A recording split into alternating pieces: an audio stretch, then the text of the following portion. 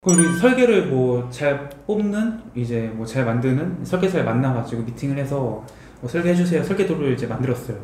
그 이걸 이제 시공을 해줄 그러니까 진짜 건, 건설을 해줄 사람 찾아야 되는 거잖아요. 그렇죠. 이제 그게 시공업체 시공사라고 그렇죠, 하는 거잖아요.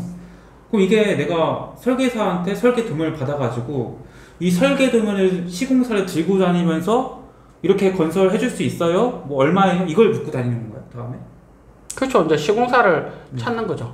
음. 시공사를 찾는 방법은 어 어쨌든 뭐 건설사 주변의 건설사든지 유명한 건설사든지 음. 그런 곳을 가서 어, 견적 의뢰를 하는 거죠. 견적 의뢰를 하는 건데 네. 최근에는 그 견적을 의뢰하고 견적서를 받잖아요. 네. 그러면 일정 수고비를 좀 드리는 경우도 많이 있습니다. 사실 이걸 어, 어디서요? 어디서? 소비자가 시공사한테 고생했잖아요.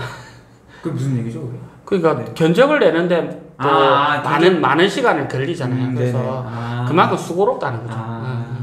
음. 뭐 설계야 당연히 어떤 설계 계약을 하고 하지만은 네. 시공사 입장에서는 견적 내는 일도 많은 시간이 네. 걸리는데 네, 네. 그냥 수없이 해주고 소비자한테 소식이 없으면 그냥 그쵸 그쵸. 네.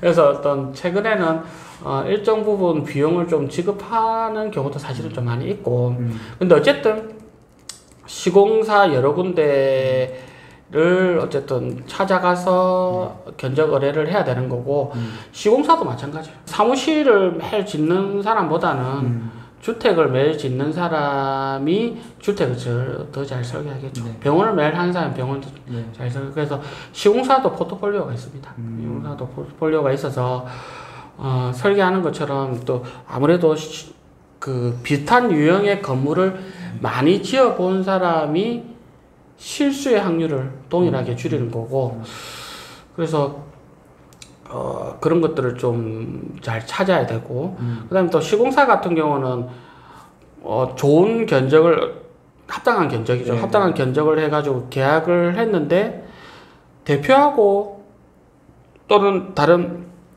어떤 그 누군가하고 계약을 했는데 네.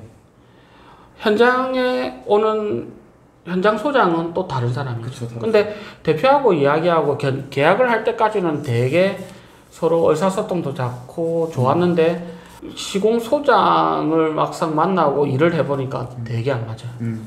어, 말도 무슨 네. 말인지 모르겠고 의사소통도 안 되고 이렇게 그래서 이제 어떤 시공 같은 경우에는 현장 소장을 또 따로 만나봐야 돼요. 그래서 현장 소장하고의 어떤 서로의 의사소통이 잘 되는지 음. 이- 그리고 또 서로의 어떤 생각들을 같이 공유할 수 있는지 이런 네. 것들도 한번 어, 논의해 볼 필요가 있다는 생각이 들고 네. 그래서 또 시공은 또 그런 게 있어요. 우리 아까도 말했지만은 말로 이렇게 하는 것들 네. 대부분 네, 그쵸. 현장에서 네. 이거 좀 해주세요. 네. 어, 네 했는데 나중에 안 해놨으면 네.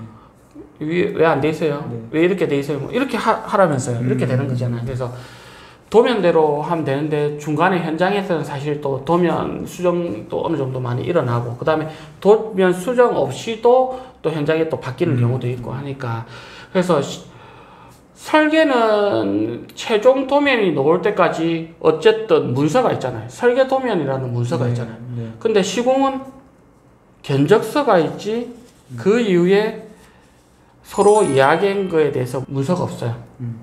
그래서 그 문서를 만들어야 돼요. 음. 말로 끝나지 말고. 그렇죠. 그래서 이 책은 제가 소개하는 오늘 이 책은 네.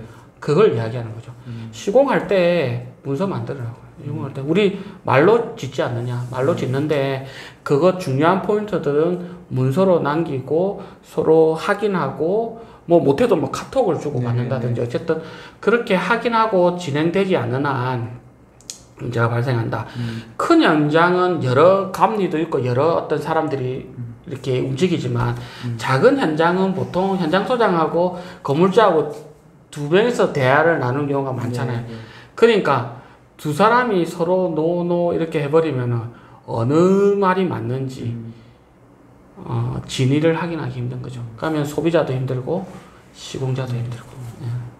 시공업체한테 이제 견적을 의뢰할 때 뭐 소정의 비용을 주는 경우도 있다고 하셨잖아요. 그러면은 그렇게 받은 견적서죠 일종의 그거는 뭐뭐 얼마나 디테일하게 써 있는 거예요?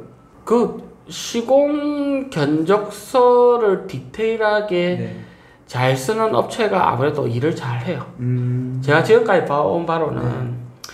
견적서가 디테일한 업- 업체일수록 네. 아 일을 음. 잘 하더라. 왜? 견적서가 디테일하다는 것은 네.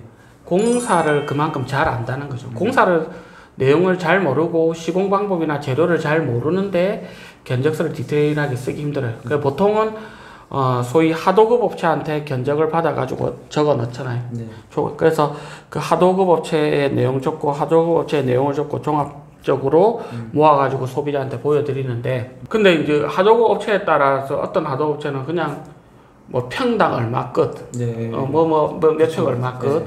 어떤 데는 HB 몇 개, 뭐 몇 개, 철근 몇 개, 구체적으로 이렇게 뭐 철근, 뭐 구체적으로 이야기를 해서 적어 놓고, 그 다음에 부대 비용이나 기타 내용들을 상세하게 적어 놓는데, 음. 근데 어떤 데는 뭐 평당 얼마, 뭐 얼마 해서 끝. 그러니까 범위도 불명확하고. 그 이야기는 결국은 앞으로 분쟁의 소지가 분명히 생길 수 있다는 음. 그 의미고 그래서 견적서를 받아보면 어느 정도 이 업체의 실력을 알 수 있어요. 어. 음. 그냥 뭉텅거리 이렇게 견적을 내는 업체 같은 경우는 자신의 어떤 시공 경험, 시공의 이해도가 네. 떨어질 수도 있다. 뭐 100%는 아닙니다. 음, 네. 근데 있다고 어, 어, 경험상 그렇게 좀 판단되는 것 같아요. 그럼 이제 제가 생각했을 때 뭐 설계 도에 이제 어떻게 어떻게 시공해야 된다는 게 다 써 있을 거 아니에요. 그렇죠. 그럼 내가 시공 업체들한테 이 설계도를 가지고 가서 견적을 의뢰할 때는 그냥 가장 싼 업체한테 하면 되는 거 아닌가라는 생각이 들거든요. 그렇죠. 그 일단 가격이 가장 중요한 요소는 맞는 건가요? 가격 가격이 너무 중요하죠. 가격이 중요한데 네. 한세 군데 견적을 냈어요. 네, 네. 근데 두 군데는 비슷한데 한 군데는 유난히 싸요. 네. 네. 근데 보통 유난히 싼데 계약을 하는 거죠. 그쵸. 하는데 근데 유난히 싼 이유가 있지 않겠어요? 이 이윤 업체에서 음. 그 시공 업체에서 나를 언제 봤다고 음. 저렴하게 내줍니까? 네. 자기들도 사무실 운영을 해야 되죠. 직원 인건비가 필요하죠. 음. 기타 경비가 필요하고 한데 나한테 무조건 저렴하게 견적을 내준다? 아닌 거죠. 그러면 다른 시공업체에서 견적 낸 거하고 내가 이번에 저렴해서 하려고 하는 업체 하는 것들하고 그 공정별로 좀 비교를 해봐야 되는 거죠. 네. 그래서 공정별로 비교를 해보고 이 시공업체에서 좀 유난히 저렴하게 빠진 것들에 대해서 왜 그런지 확인 절차는 필요한 거죠. 어, 확인 절차는 필요한데 그래서 공부를 좀 해야 돼요. 근데 이제 공부를 좀 해야 되는데 그 부분에 대해서 좀 잘 모르면은 조금 잘 아는 전문가한테 보통 좀 컨설팅을 좀 맡기는 경우도 있죠. 견적을 낼 때. 그래서 우리가 이제 이 적산 업체도 있거든요. 네. 적산 업체도 있는데 적산 업체에 견적을 내서 하는 경우도 뭐 물론 있지만은 그것보다는 좀 여러 그 견적을 받고 그다음에 그 견적 낸 업체 중에서 또 대화가 잘 통하는 사람들이 있어요. 그 사람들한테 좀 구체적으로 물어보고 아니면 정말 건축을 좀 많이 하고 잘 이해한 사람을 이제 함께 동행해서 거기에 대해서 좀 물어보고 하는 것들. 그래서 혼자 다 이해하는 건 사실은 좀 쉽지는 않잖아요. 음. 그런 어려움은 분명히 있는 것 같아요. 근데 뭐이 유튜브 같은 데 보면은 뭐 리모델링을 하든 뭐 특히 리모델링이 되게 많은 것 같은데 얼마에 공사를 해주기로 했어. 근데 갑자기 뭐 이런 인플레이션이나 뭐 이런 급작스러운 변화 말고 뭐 해야 된다 뭐 해야 된다, 추가 요금을 계속 요구하는 일들이 조금 있는 것 같긴 하더라고요. 그렇죠. 음. 그 그런 것들은 왜 있는 거고 뭐 이렇게 사전에 방지할 수 있는 방법이 있어요. 그래서 그 최근에 제가 좀 계속 좀 강조하는 부분들은 특히 리모델링 할때 음. 철거를 먼저 하고 네. 그 다음에 견적을 다시 내는 방법도 좋은 방법이에요. 왜냐하면 철거 과정 중에 보면은 네. 처음에는 쉽게 철거될 줄 알았는데 뭐 지붕이 두 개라든지 네. 그 다음에 철거하는 부분들이 되게 어렵다든지 좀 구조적으로 좀 문제가 발생을 했다든지 일단 이렇게 해서 본의 아니게 건물이 이렇게 있는 상태에서는 몰랐는데 막상 뜯어보니까 조금 전혀 다른 상황이 전개되는 경우가 음. 발생하지 않습니까? 그러면 시공업체에서 나도 이거 몰랐다 뜯어봐야 알지 그래서 이렇게 어, 견적을 냈는데 어, 이게 대한 추가가 필요하다 이렇게 이야기가 될 수 있고 음. 그래서 대부분은 우리가 소위 마감 공사, 목공사 하기 전 음. 목공사 하기 전이라고 하면 철거, 네. 구조 보강, 네. 그 다음에 이제 조적, 미장, 뭐 crack 보수, 방수, 음. 뭐 그냥 우리가 소위 목공사 하기 전에 이루어지는 어떤 건물 구조체의 기본적인 공사들이 있거든요.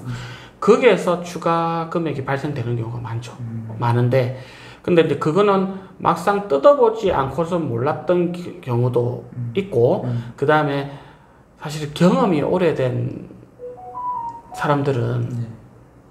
안 뜯어봐도 알죠. 음. 안 뜯어봐도 그 안에 그럴 것이다라고 하는데 리모델링을 이렇게 그렇게 많이 경험하지 못한 사람들 또 만- 업체 같은 경우에는 네.